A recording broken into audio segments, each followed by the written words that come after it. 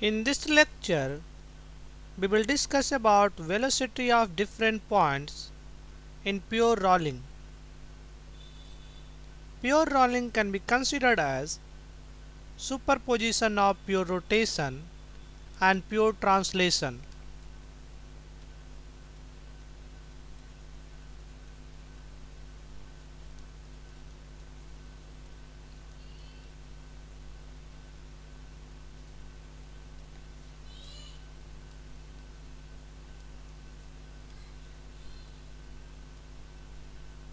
What is the meaning of pure translation?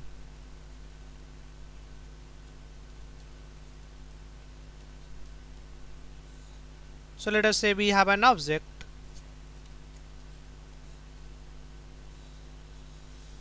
And this object is moving with velocity v. After some time this object is here.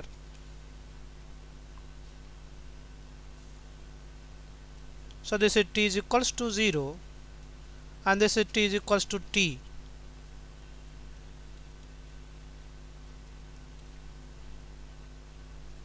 If I consider center of mass in t time this point has travelled v into t distance. This point has also travelled same distance that is v into t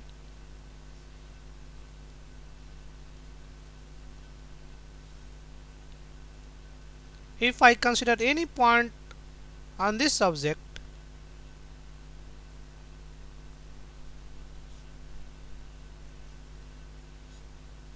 this will cover same distance that is v into t. So in case of pure translation each point of object covers same distance. That is each point of object has same velocity so all point will have same velocity.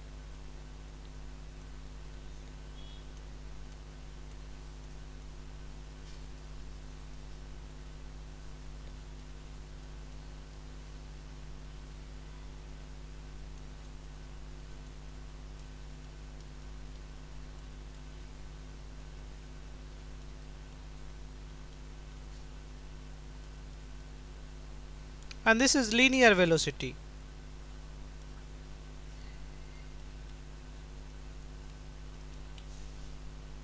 Similarly, we have pure rotation.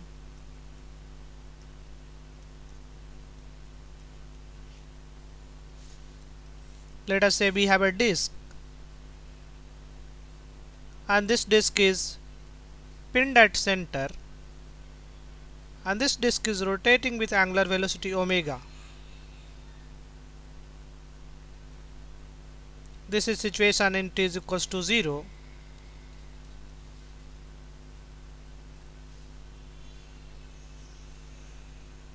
and disk has rotated through some angle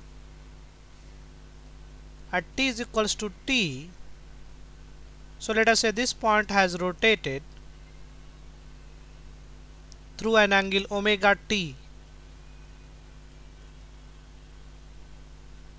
So each point of object has traveled same angular distance. Even if I consider this point initially it is here now it will be here. That is it will cover same angular distance theta. That is in case of pure rotation each point of object has same angular velocity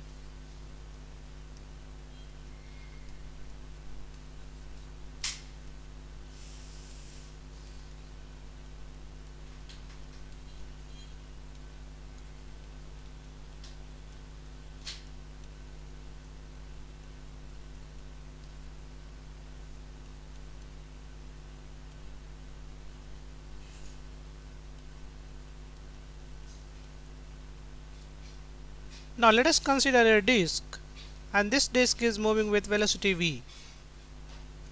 Now this is a case of pure translation.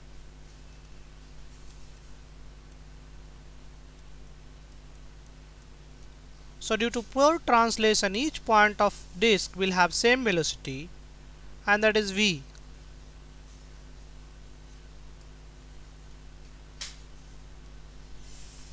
Now this is a case of pure rotation.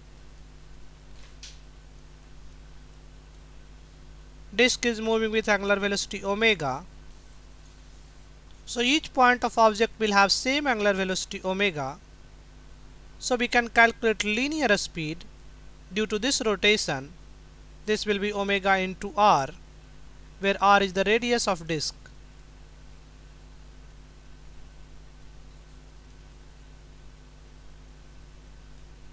And velocity will be tangential. So linear velocity will be per perpendicular to this radius vector. Similarly here we will have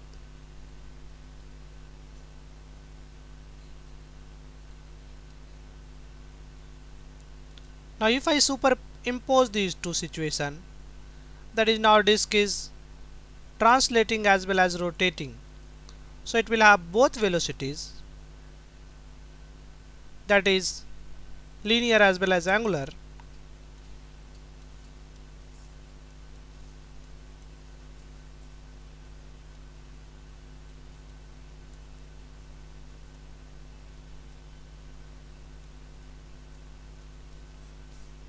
Now we'll consider these four points and this is a case of pure rolling. In case of pure rolling point of contact has zero velocity. This is the point of contact.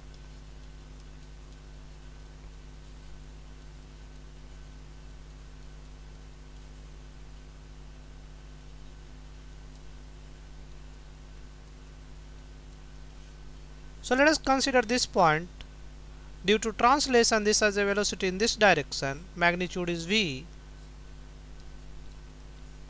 Due to rotation this has a velocity omega r in the backward direction.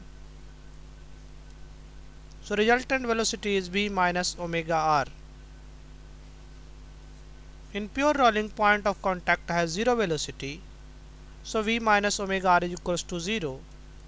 So we will have v is equals to omega r. Now let us consider this point. Due to translation it will have a velocity in this direction v. And due to rotation this will have a velocity omega r in the downward direction. But omega r is equals to v so we can write this is also equals to v. So we can find resultant velocity.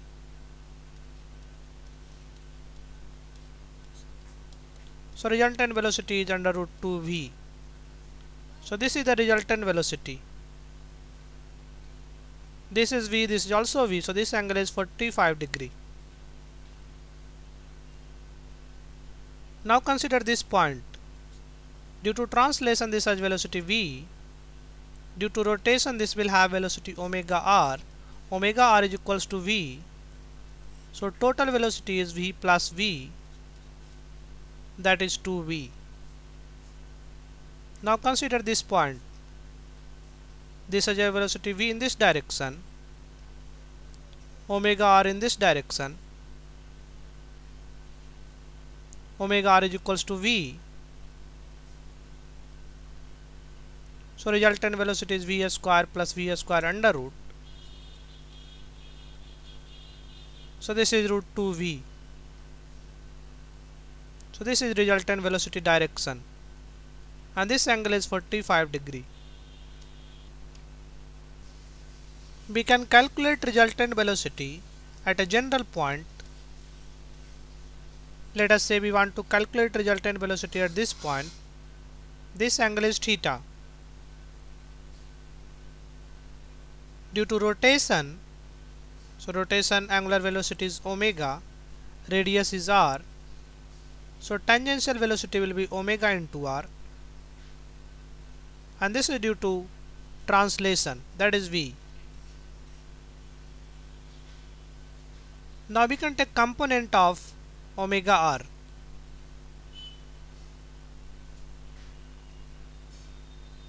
This angle is theta then this angle will also be equals to theta alternate angle. Now this is perpendicular to this so this will be 90 minus theta so this angle is 90 minus theta.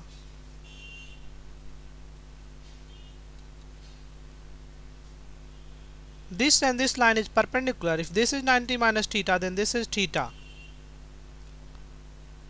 So we will have component of omega r in this direction. Omega r cos theta. And in this direction we will have omega r sine theta. So velocity in x direction this is x direction this is y direction v minus omega r cos theta. Omega r is simply v. By is omega r sin theta. Omega r is v. So v sin theta. So we can calculate resultant velocity.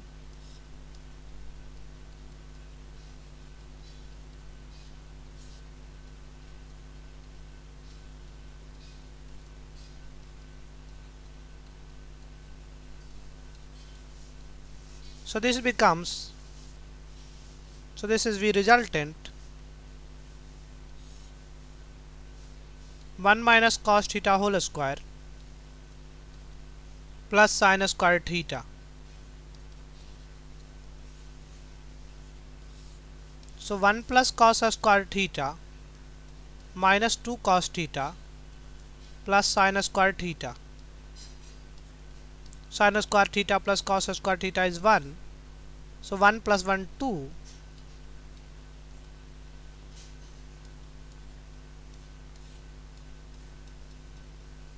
1 minus cos theta is 2 sin square theta by 2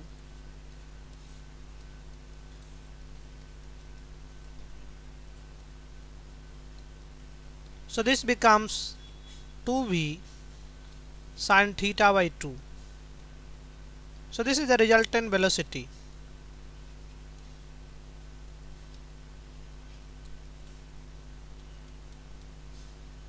at angle theta.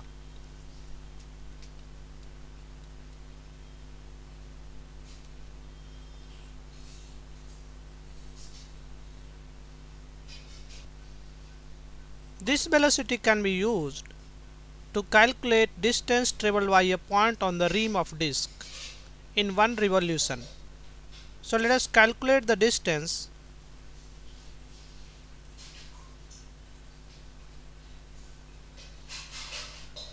traveled by a point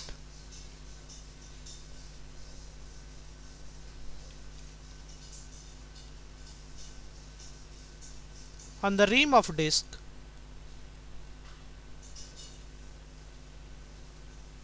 in one revolution.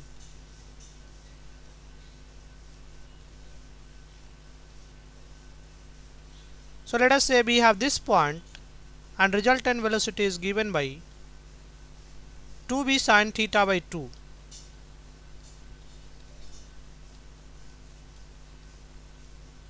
Velocity can be written as ds by dt whereas the s is the distance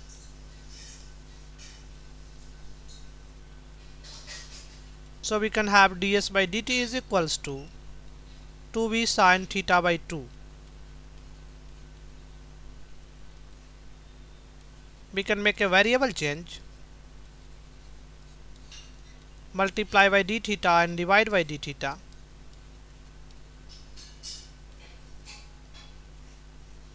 D theta by dt is omega. This is basically s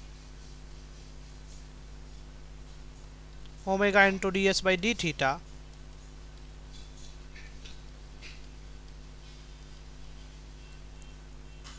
So we can write ds by d theta is equals to 2v and v can be written as omega r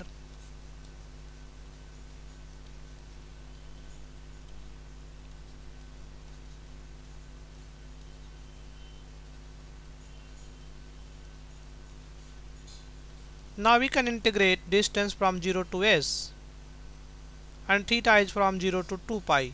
That is one revolution.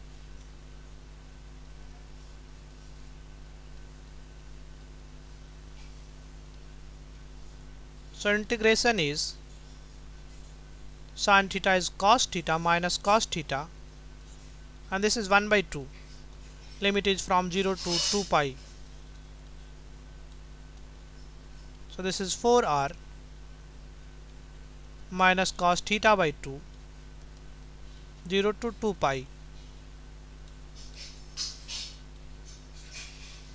When we have 2 pi this is minus minus plus 1 when 0 we have this is 1 this is 8r so distance traveled by a point on rim in one revolution is 8r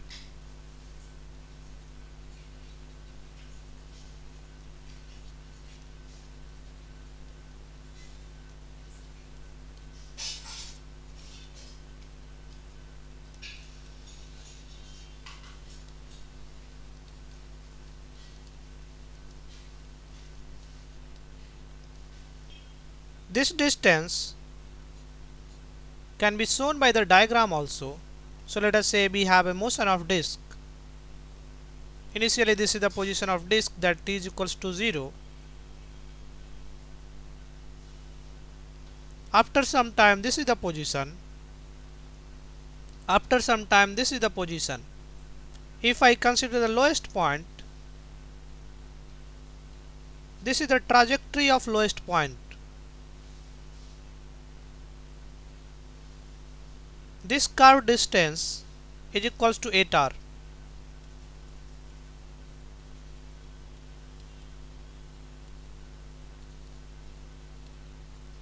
If you consider this distance, this is simply 2 pi r.